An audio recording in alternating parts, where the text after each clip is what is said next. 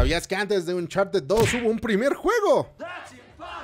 Allá por el lejano 2007, Naughty Dog, que había sido reconocida por Crash Bandicoot de PlayStation 1 y Jackie Daxter de PlayStation 2, pensaron en una IP nueva que se estrenaría en la era HD de las consolas, aprovechando las capacidades gráficas de la PS3. Pero como vimos, su fuerte eran los juegos de aventuras con toques de acción. Eso lo llevó al éxito, por lo que su próxima propuesta debía ir un poco en esa línea, pero requerían algo más que lo diferenciara. Entre la lluvia de ideas pensaron en inspirarse en Indiana Jones, una franquicia aventurera de los años 80 que está protagonizada por el siempre carismático Harrison Ford. Aunque no era la primera vez que sucedía esto, ya que Barbara Blade se encargó de eso antes. A quien le debemos la forma de Uncharted tal y como lo conocemos es a la directora y escritora Amy Heining.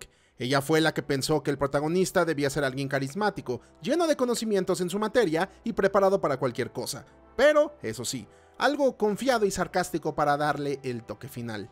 Eso ya le daba el fondo, pero faltaba la forma. Originalmente se basaron en Johnny Knoxville para crear la apariencia de este aventurero. ¿Quién se creen? ¿Johnny Knoxville? Si no lo reconoces, dale una googleada y quizá te sorprendas en caso de que seas muy joven. Entre un retoque y otro, terminó con una apariencia muy distinta gracias a su actor de voz y captura de movimiento, el mismo Nolan North, a quien seguro reconocerás por un montón de papeles dentro de la industria de los videojuegos. Este señor sí se sabe la de chambear, lo he escuchado en un montón de franquicias, hasta en Assassin's Creed, hazme el bendito favor. Pausa, pero ¿qué hay del juego en sí? ¿Qué es lo que hizo que este título fuera el comienzo de una franquicia? Misma que ya llegó a cuatro entregas, un spin-off y un juego para consolas portátiles. Bueno, acompáñenme a revivir lo que hizo grande a la saga Uncharted desde el comienzo.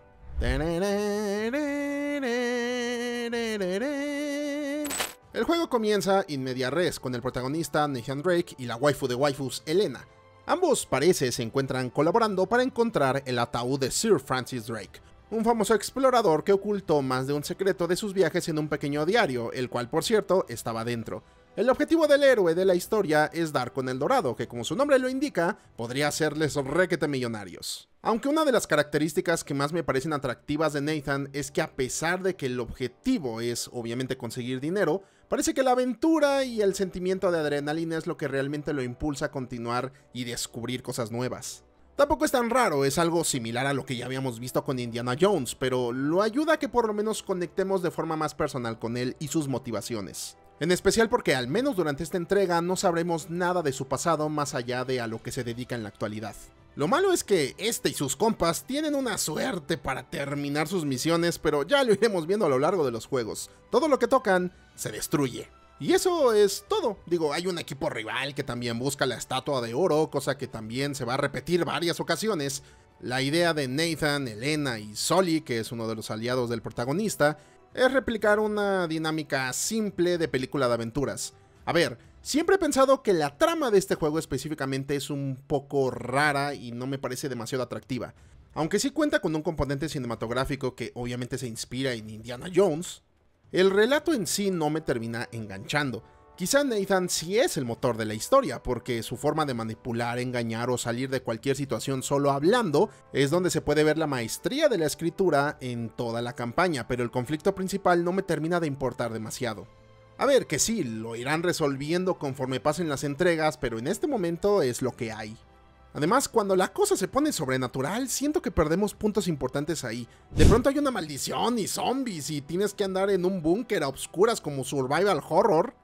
Y ustedes lo saben, no es mi tipo de juego y jamás lo va a ser. Lo malo es que esto es un lastre que arrastra a la saga por lo menos durante las siguientes dos entregas. Y honestamente nunca fui muy amante de eso. Digo, quizá tiene que ver con que soy un cobarde de profesión, pero decido creer que es un error incluir mutantes y ese tipo de cosas. La trama ya iba por buen camino, centrándose solo en la aventura, descifrar pistas, despistar enemigos y demás. Supongo que se inspiraron de más en las aventuras de Indiana Jones, pero hasta esas películas tenían moderado la parte de lo sobrenatural. Por otro lado, también está el hecho de que saben cómo hacernos conectar con los personajes secundarios. Elena está en esta delgada línea en la que no sabes si te va a caer mal al principio, pero apenas parpadeas, la tipa ya es parte de la tripulación. Mismo caso con Soli. El sujeto no te queda claro al principio si es aliado o un traidor, pero al final resulta ser una persona con la que Nathan no puede dejar de conectar. y poco a poco queda explícito que es una especie de mentor para el protagonista. Son pocos, pero ¿qué quieres que te diga? Saben perfectamente cómo hacernos amarlos y por lo menos agarrarles cariño. Es verdad que gráficamente el título no envejeció del todo bien, las expresiones faciales me funcionan y aunque las animaciones de los personajes pueden verse cartonadas, y por ejemplo Nathan Drake a ratos parece directamente salido de un capítulo de Max Steel, supongo que no es del todo grave. Además juega la remasterización, por lo que se supone se ven un poco mejor.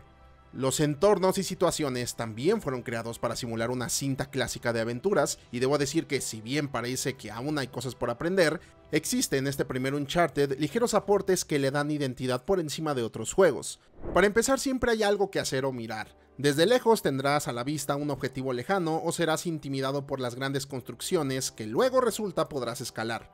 Es verdad que nunca fui amante de los juegos ambientados en la selva, pero en este específicamente me siento como en casa.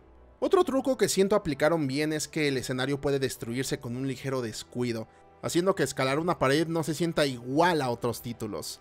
Esto porque las secciones de plataforma son variadas y me funcionan, aunque a ver, es un juego de 2007 y debo decir que hay algunas cosas que no envejecieron tan bien, o incluso para la época otros ya habían aplicado mejor. Que sí, se irán mejorando en las secuelas, pero no vamos a hacer como que estos problemas no existen aquí.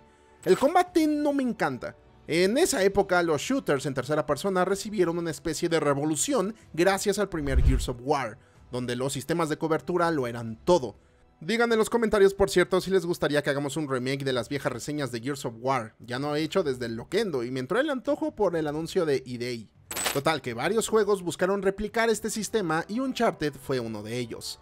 Desde el inicio de la experiencia te presentan la posibilidad de esconderte tras un objeto o columna, están repartidas por todo el escenario y puedes moverte a voluntad por todas estas. Cuando te encuentras en estas posiciones, los enemigos no pueden dispararte. A su vez, ellos también se van a cubrir, y tendrás que encontrar oportunidades para dispararles, así como ellos harán lo mismo contigo. Los matones se mueven constantemente y buscarán formas de flanquearte o literalmente bailarán frente a ti para que las balas no les den. Está muy curioso.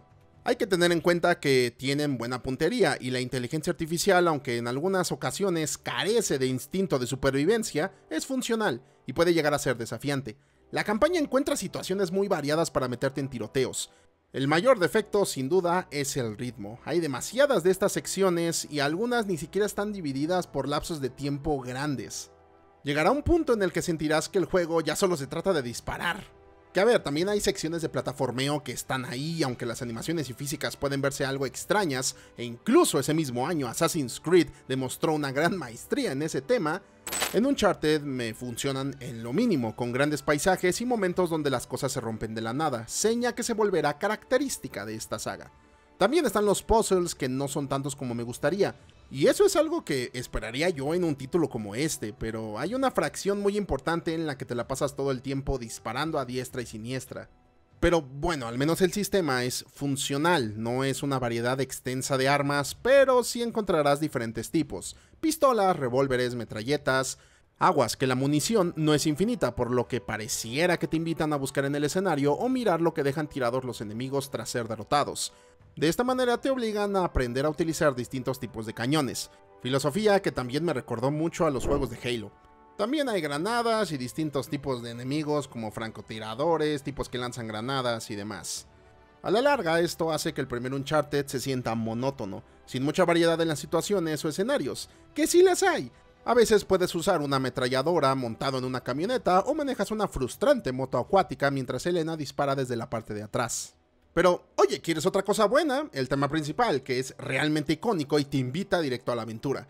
El resto del soundtrack no tiene precisamente la misma magia y energía. Corre en la música genérica de acción número 3 y ya está, a seguir con tu vida. Ahora, como podrán darse cuenta, revisé la remasterización de la The Nathan Drake Collection. Una recopilación muy buena, pero con un golpe en los bajos algo tonto, pues descubrí que no puedes jugar en la PlayStation 5 si no desconectas la consola de internet. Que porque la subida de estadísticas está glitchada en el título y te lo cierra. O sea, literal no puedes jugar. Encantador. La consola lleva casi 4 años en el mercado y no han podido parchar eso. ¡Wow! En otros temas, un gran añadido en estas versiones fue el doblaje en español latino, ya que antes solo podías escuchar el de español España. Leto Dugatkin como Nathan Drake le queda como anillo al dedo y agradezco que mantuvieran esa continuidad hasta la cuarta entrega. Uncharted Drake's Fortune es un videojuego muy entretenido con toques de aventura y acción, quizá en dosis de más, pero que funciona en lo mínimo. Sin embargo, el motivo por el que es más recordada la segunda parte que esta es porque la primera entrega tiene un sistema muy ortopédico. El simple hecho de moverte no es del todo cómodo y aunque me tocó probar la remasterización, visualmente tampoco me pareció la gran cosa.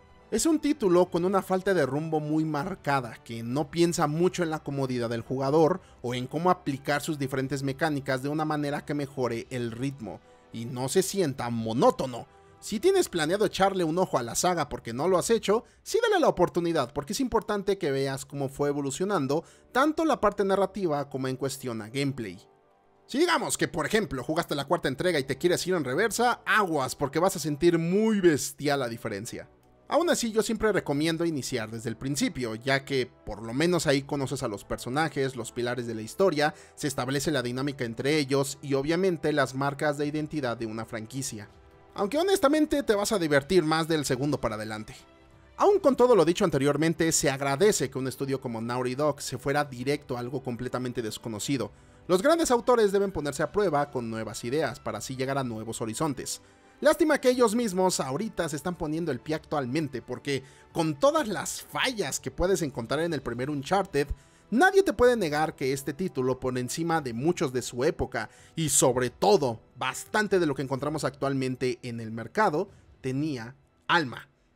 Bueno, eso cuando no explotaban a sus empleados, hijos de la ching. No olviden dejar su like para seguir revisando toda esta saga en los siguientes títulos, además de suscribirte para saber cuándo llegarán al canal. Peticiones fuera, los dejo, nos vemos.